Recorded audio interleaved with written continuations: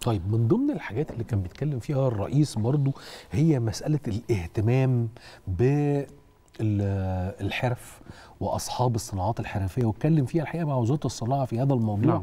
واتكلموا على مسألة ضرورة إن الدولة تسهل الإجراء للناس علشان تقدر تحصل على المصانع الجديدة أو القطع اللي هتقام عليها المصانع والوزيره قالت من الوارد جدا إن الشخص يحصل على أكثر من قطعة لو دراسه الجدوى بتاعته تسمح بذلك. أنا كان لافت للنظر هي حاجتين، أول حاجة كراسه الشروط كان سعرها كام وبقت كام؟ وكان برضه لافت للنظر ليا مسألة تكاليف القياسات المعيارية اللي تم تم إلغائها دي.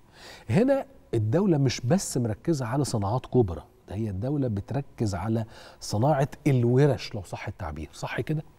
لحد كبير طبعا. النهارده سبب إثارة هذا الموضوع هو موضوع يبدو خارج عن النقاش العام اللي هو متعلق بالاسكان والمساكن وتكلفة الإسكان والدعم وتنظيم الأسرة.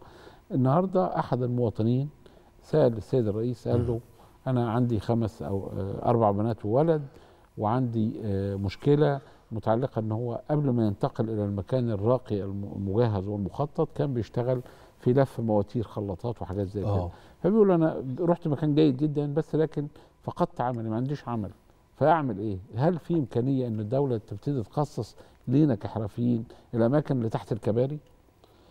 فالرئيس يعني آه، آه، جاوبه إجابة آه، جيدة جدا. قال له يعني هنحل مشكلتك أنت إكراما للبنات. لكن الجزء الثاني اللي هو المتعلق بيه ما في أكتر من حد. في ناس كتيرة اللي هم كانوا زي اللي حضرتك لو تذكر ال- الورش الحرفيين اللي هي موجودة كانت في حتت وسط السكان وتم نقلهم إلى أماكن قد لا يكون فيها ورش مماثلة أو عدد كافي من الورش. يشتغل فيها. فهو الرئيس قال طيب ما الكباري دي إحنا عملنا ناس كتير ما كانتش بتستغلها قبل كده. انت بدأت تستغل عدد كبير من الكباري عشان من أول تتعمل محلات كافيتريات ورش فممكن يتم التوسع فيها وتفيد ناس كتيرة جدا. دي واحد. بس طبعا يتم الموازنة ما بين نشاطها وحياة الناس طبعا. في ودي نقطة مهمة.